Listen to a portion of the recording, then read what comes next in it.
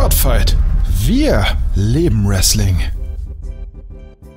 Wie die WWE auf Twitter bekannt gab, wird Stephanie McMahon bei der kommenden Raw-Ausgabe eine große Ankündigung machen. Spekuliert wird, dass es sich hierbei um einen reinen Frauen-Pay-Per-View handelt, den der Marktführer in die Tat umsetzen könnte. Als Steph zuletzt eine solche Botschaft verkündete, announcete sie das Frauen-Royal Rumble-Match. Nachdem die Fans nach dem Greatest Royal Rumble in Saudi-Arabien ihren Unmut über die reine Männershow kundgetan haben, versuche die WWE die Wogen mit einem reinen Frauen-Event zu glätten. Es macht aktuell nicht den Anschein, als würde der Undertaker bald zurücktreten.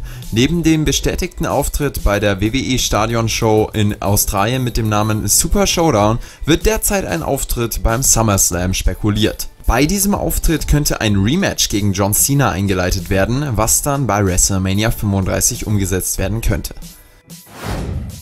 James Ellsworth ist nicht unter Vertrag bei WWE, er wird pro Auftritt bezahlt. Dies könnte darauf hinweisen, dass WWE keine langfristigen Pläne mit Ellsworth hat.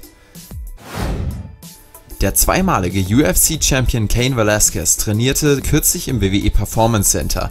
Velasquez besiegte Brock Lesnar 2010 um die UFC Heavyweight Championship. Er erwähnte bereits in Interviews in der Vergangenheit sein Interesse an einer möglichen WWE-Karriere, er sei mit Wrestling aufgewachsen und könne sich vorstellen, öfter in den Ring zu steigen.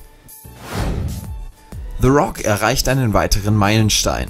Der Business Insider gibt bekannt, dass The Rock der höchstbezahlte Schauspieler aller Zeiten sei. Kürzlich äußerte sich The Rock in einem Interview über seine Zukunft bei WWE. Er könne es nicht erwarten, wieder in den Ring zu steigen. Wann und ob dies allerdings passiert, bleibt abzuwarten.